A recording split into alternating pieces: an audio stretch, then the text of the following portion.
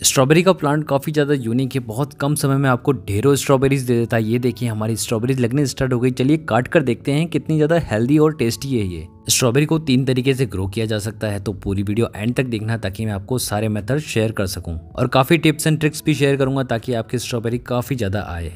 तो कमेंट करके ज़रूर बताना कि आप में से किसको स्ट्रॉबेरी खाना काफ़ी ज़्यादा पसंद है। सबसे पहले अगर आप अपने प्लांट को हेल्दी रखना चाहते हैं तो आपको कुछ इस तरीके के स्मॉल स्मॉल पॉट्स और लंबे लंबे पॉट्स सेलेक्ट करने होंगे और स्ट्रॉबेरी काफ़ी ज़्यादा एक साथ ग्रो करनी होगी, क्योंकि इनके अंदर पॉलिनेशन होगा और पॉलिनेशन से ही आपको बहुत सारी स्ट्रॉबेरीज मिलेगी। स्ट्रॉबेरी के प्लांट को विंटर की सनलाइट बहुत अच्छी लगती है और समर की बिल्कुल भी सनलाइट अच्छी नहीं लगती तो ऐसी जगह आप सेलेक्ट करके रखें जहाँ पर समर में कम धूप मिले और विंटर में फुल डे ऑफ़ सनलाइट मिले तो आपको बहुत सारी ढेरों स्ट्रॉबेरीज मिलने वाली है। मैं तो दोस्तों हर दिन एक दो स्ट्रॉबेरी खा ही लेता हूँ, क्योंकि मेरे पास काफ़ी ज़्यादा स्ट्रॉबेरी के प्लांट्स है और मैं हर दिन हार्वेस्ट करता ही रहता हूँ। यहाँ पर भी आप देख सकते हैं, हमने थ्री स्ट्रॉबेरीज़ को हार्वेस्ट कर लिया और काफ़ी ज़्यादा हेल्दी और कुछ अगर मैच्योर हो जाती है तो वो और भी ज़्यादा मीठी लगती है। स्ट्रॉबेरी प्लांट को फर्टिलाइज़र कैसे देना है, पानी कितना देना है सनलाइट कितनी देनी है, सारी एक्सप्लेन करता हूँ। चलिए दोस्तों वीडियो स्टार्ट करते हैं। आप स्ट्रॉबेरी को तीन तरीके से ग्रो कर सकते हैं, जिसमें से पहला मेथड है ये। आप लाइव प्लांट मंगा लीजिए सेलर से, जिसके नंबर मैं डिस्क्रिप्शन में डाल दूँगा। ऑर्डर करने के बाद नियरली मुझे वन वीक तक वेट करना पड़ा, उसके बाद मेरे सारे प्लांट्स एक हेल्दी वे में मेरे पास आ ही गए। अब यहाँ पर इनकी पैकिंग भी काफ़ी ज़्यादा अच्छी है, इनकी रूट्स बिल्कुल भी डैमेज नहीं हुई और पत्तियाँ बिल्कुल भी डैमेज नहीं हुई। नियरली टेन से ट्वेल्व प्लांट्स हमने मंगाए हैं, इसमें आपको काफ़ी ज़्यादा प्रोडक्शन मिल जाता है और कुछ प्लांट मर भी जाए तो टेंशन नहीं होती है। ज़रा काउंट करके बताना ये कितने प्लांट है कमेंट में ज़रूर बताना। हमारी स्ट्रॉबेरी का प्लांट दोस्तों काफ़ी दिनों से ट्रैवलिंग में था तो इनको फटाफट से हम लगा देते हैं और सॉइल मिक्स बना देते हैं। न्यूट्रिशन से भरी हुई सॉइल बहुत अच्छी रहती है तो नॉर्मल यहाँ पर हमने 50 परसेंट सॉइल ली है नियरली 25 परसेंट हमने कोकोपीट लिया है और 25 परसेंट हमने वर्मी कंपोस्ट लिया है। बहुत अच्छा सॉइल मिक्स है, बहुत सारे प्लांट में काम आता है। प्लांट हमारे रेडी है लगने के लिए। अब यहाँ पर पॉट साइज़ की बात करी जाए तो नियरली एट से टेन इंचेस हाइट वाला पॉट इनफ रहता है और एक रेक्टेंगुलर पॉट ले लीजिए, इसमें आप मल्टीपल स्ट्रॉबेरी ग्रो कर पाएँगे और ये एक्चुअल तरीका यही होता है। साथ में लगाने से ये बेनिफिट होता है कि पॉलिनेटर्स जो भी आते हैं, वो सारे प्लांट को एक साथ पॉलिनेट कर देते हैं। स्ट्रॉबेरी का प्लांट हमेशा रनर प्लांट ज़रूर प्रोड्यूस करता है तो इस तरह के रेक्टेंगुलर पॉट आप हमेशा सेलेक्ट करें, इसमें रनर प्लांट बहुत सारे प्रोड्यूस हो जाएँगे और आपको फ्यूचर में कभी स्ट्रॉबेरी का प्लांट लाना ही नहीं पड़ेगा। और अगर सिंगल साइज़ पॉट में ग्रो करना है तो नियरली आठ इंचेस साइज़ का पॉट बहुत परफेक्ट रहता है। डायमीटर सिक्स इंचेस हो जाएगा और डेप्थ कम से कम एट इंचेस इसमें आपका स्ट्रॉबेरी का प्लांट बहुत अच्छे से स्ट्रॉबेरीज देगा।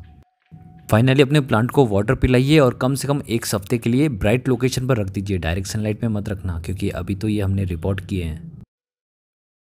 करीब तीन चार दिन ही हुए थे और यहाँ पर आप देखें कितने ज़्यादा इसके अंदर वीड्स ग्रो हो गए मतलब फालतू के खर पतवार ग्रो होने लग गए और वो हमारे प्लांट को डिग्रेड कर रहे हैं, उनकी हेल्थ को और बेकार बना रहे हैं।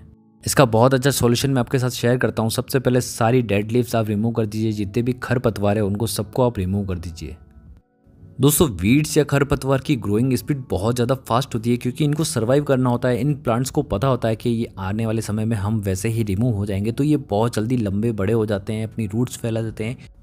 यहाँ पर दोस्तों, हम यूज़ कर रहे हैं धान का भूसा। आप यहाँ पर राइस हस्क यूज़ कर सकते हैं। कोकोपीट यूज़ मत करना क्योंकि उससे आपकी स्ट्रॉबेरी ख़राब हो सकती है। ऐसे दोस्तों, दो से तीन फ़ायदे होते हैं। एक तो आपके मल्चिंग हो जाती है प्लांट के अंदर। ज़्यादा वाटर देने की ज़रूरत नहीं पड़ती है। दूसरी बात यह है कि आपकी स्ट्रॉबेरी डायरेक्ट सॉइल को टच नहीं करेगी तो सॉइल से आपके स्ट्रॉबेरी में फंगस नहीं लगेगी और तीसरी बात, यहाँ पर खरपतवार बिल्कुल भी नहीं उगेगी।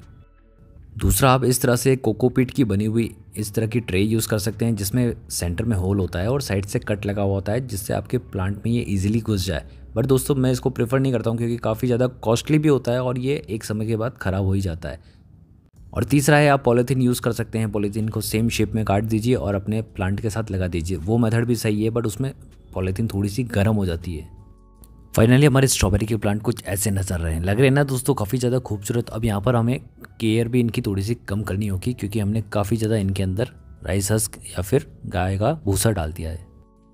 सही फर्टिलाइज़र अगर दिया जाए तो हमारे स्ट्रॉबेरी के प्लांट बहुत जल्दी फ्लावरिंग दे देते हैं और यहाँ पर आप देख सकते हैं हमारे इस प्लांट ने फ्लावरिंग स्टार्ट कर दी है। मतलब अब हमारे पास स्ट्रॉबेरी का खजाना होने वाला है क्योंकि अब हमारे पास बहुत सारे प्लांट है। तो यहाँ पर स्ट्रॉबेरी ही स्ट्रॉबेरी मिलने वाली है। आफ्टर ट्वेंटी डेज़ आप यहाँ पर देख सकते हैं हमारे प्लांट ने कितने ज़्यादा फ्लावरिंग स्टार्ट कर दी है। हमारी सीडलिंग काफ़ी ज़्यादा मेच्योर थी इसका मतलब और हमारे पास बहुत सारे स्ट्रॉबेरी के फ्लावर आ गए हैं। बीज एंड्स बर्ड्स सब आके पॉलिनेट करती है स्ट्रॉबेरी के फ्लावर को और उसके बाद ही हमें बहुत सारी स्ट्रॉबेरीज मिलती है। तो ये प्रोसेस एक नेचुरल प्रोसेस है।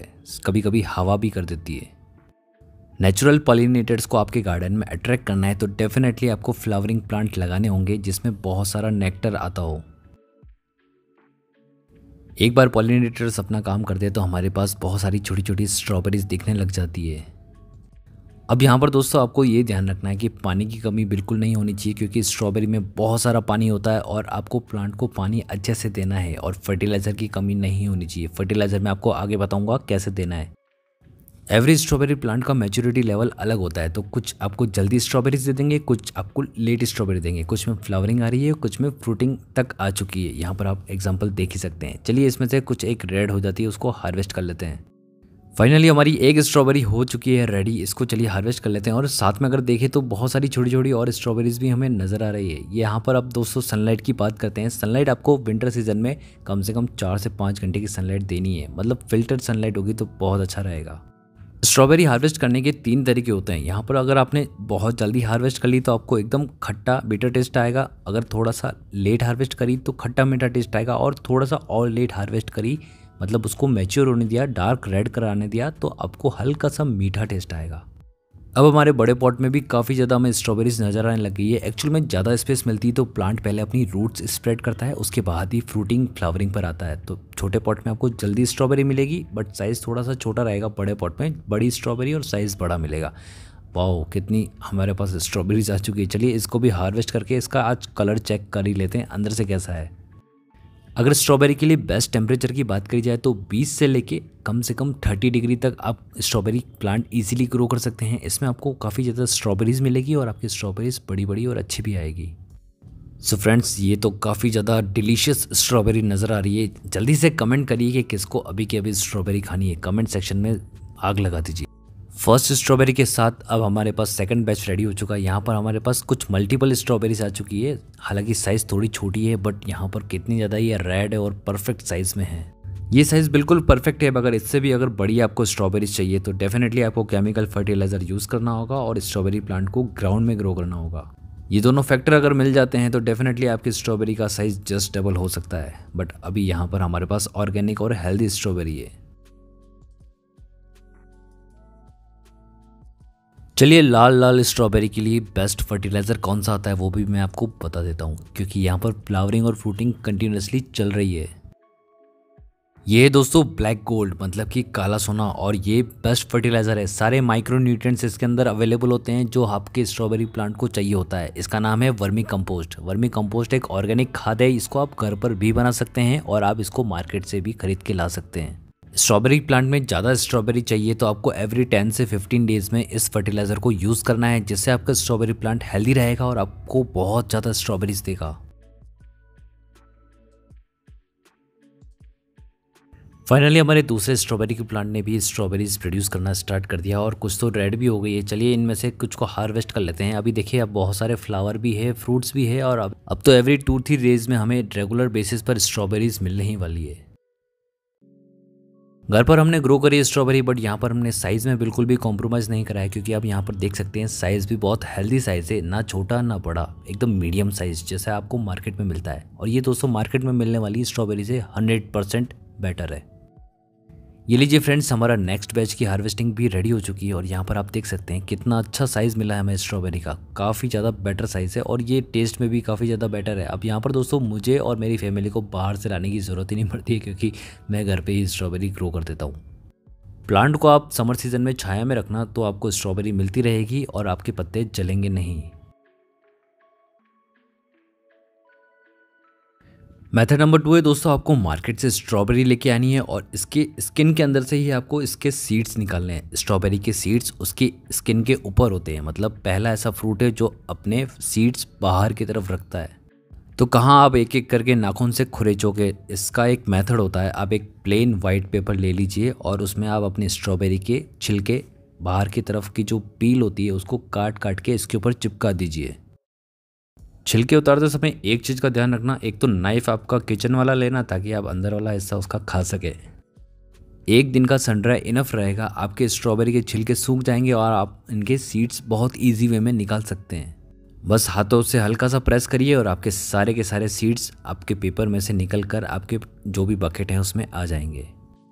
राई के दाने जितने छोटे इसके सीड्स होते हैं तो बहुत अच्छे से इनको टैकल करना क्योंकि इधर उधर गिर गए तो ये मिलेंगे भी नहीं। अब बढ़िया सा सीडलिंग सॉयल मिक्स बनाइए और अपने सीड्स इसमें लगा दीजिए। पानी की मात्रा अच्छे से मेंटेन करके रखना क्योंकि मॉइस्चर इनको बहुत पसंद होता है। सीडलिंग सॉयल मिक्स आपको हमारे सॉयल मिक्स वाले वीडियो में मिल जाएगा, जो इससे पहले हमने अपलोड करा है। अब बस सारे सीडलिंग को इधर उधर स्प्रिंकल कर दीजिए अपने पॉट में और ध्यान रखना एक दूसरे के ऊपर ओवरलेप ना करें। फाइनली सीडलिंग सॉइल मिक्स की हाफ़ इंचेस की लेयर बनाइए और बस आपके सीडलिंग रेडी टू ग्रो है। पानी डालिए मॉइस्चर मेंटेन करके रखिए और ब्राइट लोकेशन पर रख दीजिए। आपके छोटे छोटे प्लांट्स कुछ ही दिनों में आपको नज़र आ जाएँगे। मेथड नंबर थ्री बहुत ज़्यादा कॉस्टली भी है बट बहुत ज़्यादा आपको फ्रूटफुल भी रहेगा। इसमें आपको फ्रूटिंग जल्दी मिल जाएगी बट आपको थोड़ा सा एक्स्ट्रा पैसा देना होता है। नर्सरी से एक हेल्दी प्लांट लेकर आइए और उसको अपने पॉट में लगा दीजिए। पॉट साइज़ क्या रहेगी? Nearly six to eight inches diameter रहेगा और डेप्थ रहेगी एट से टेन इंचेस पानी ज़्यादा रुकना नहीं चाहिए, इसलिए ड्रेनेज होल बहुत अच्छा रखिए। उसमें न्यूज़पेपर लगाइए ताकि हमारी मिट्टी बाहर ना निकले और बस अपने प्लांट को लगा दीजिए। अब प्लांट को लगाने का तरीका आप देखना।